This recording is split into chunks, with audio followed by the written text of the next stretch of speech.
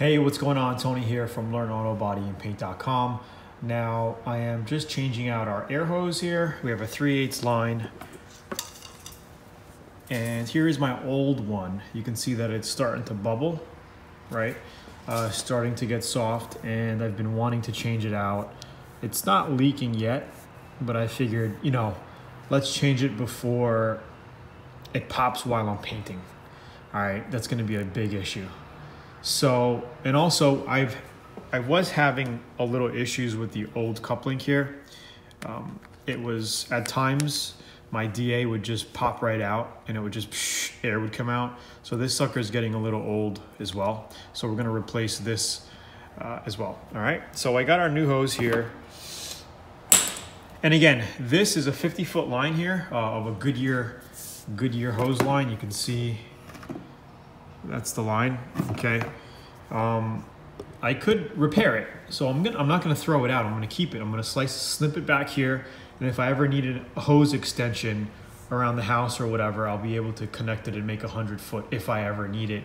You know, if I need air on the other side of the property or whatever, um, I'll have it. So you could absolutely cut this, put a little repair kit in it and attach and do what you gotta do to, to basically salvage the line because the rest of it is good. There's no issues with it, okay? So, um, what brand is this? I got this off of Amazon. I think it was like Giraffe, Giraffe Tools. 50 foot line for under 30 bucks shipped. Not too bad at all.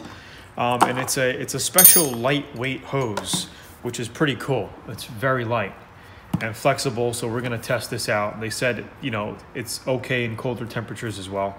So what I'm gonna do now is just get our plumber's tape um, and just put a couple of rounds of plumber's tape on here.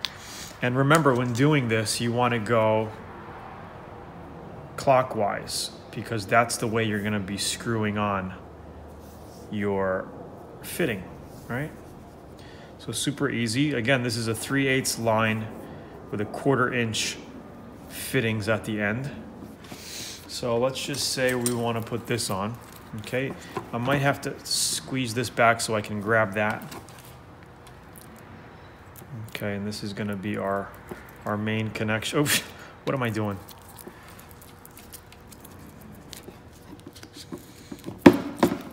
Okay, now I just got to tighten that up. Um, Okay. This is not the size. So anyway, let's go ahead and put this side on where it attaches to our water filter. And then we're just gonna give everything a quick snug. And then we're good to go. All right, so again, you wanna go clockwise. All right?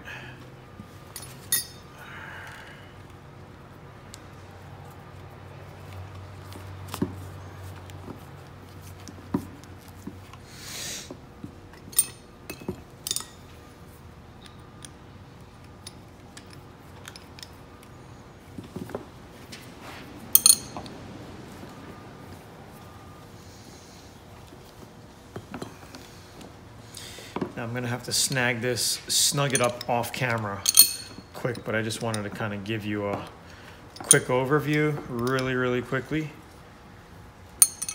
Um, if you have a small shop, you know, like a home setup like what I have here, 50 foot is usually all you need.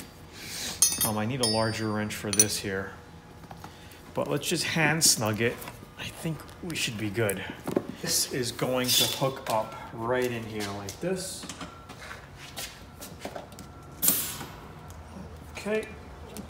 Now again, I have to tighten this up, double tighten it up.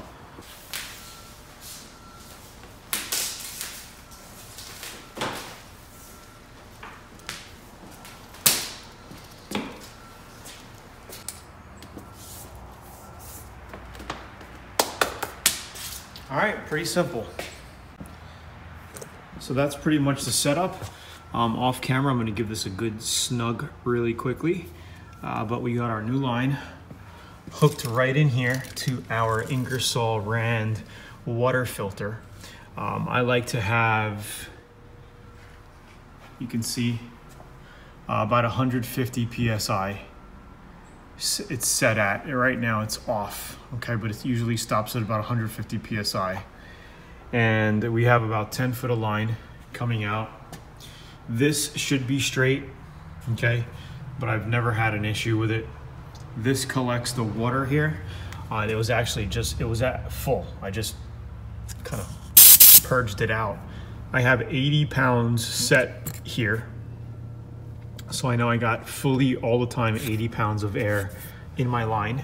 Okay, and then when I adjust my spray gun settings, I adjust it at the spray gun. But I know I have enough, more than enough air to do what I gotta do here um, at the shop. And, and then I got this new line here. And then this basically will salvage um, I can cut that. I'm just gonna roll it up and put it away for now. So that's pretty much it. I hope you enjoyed the video. Guys, please give it a thumbs up, comment below, let me know your thoughts. And if you're totally brand new, subscribe to this channel. We got new weekly videos. Also, click the link right over here to get a free 85 page auto body and paint manual. I think you're gonna like it. It's gonna give you a ton of tips. And this is the site that you gotta go to LearnAutoBodyAndPaint.com. yeah, to get your free book and learn more about auto body. Have a great day, guys. Thanks. Bye.